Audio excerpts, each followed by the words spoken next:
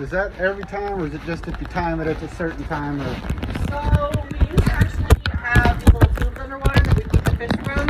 Um, we started to see uh, some of our stingrays also found that food and caused a little bit of trouble. So we transferred the fish meat to be from the surface, but we always fed the fish in the water. because I, I did it once before, and either I was at the back end and didn't see it. Yeah, that- might have just missed it. Then That was- been, of a part of the program for a while. How was it? Every bit cooler or than the last time I did it.